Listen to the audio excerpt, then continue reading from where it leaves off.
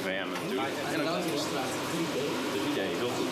En wij zijn eh, hier, zoals al gezegd, eh, in, de, ja, in het winkelcentrum van Nieuw Amsterdam. En de komende twee uur hebben wij hier eh, onze locatieuitzending. Eh, om voornamelijk ja, die donateurs te werven, want Ja, daar gaat deze week eh, ja. onder andere om. Ja, on- onze donateurs,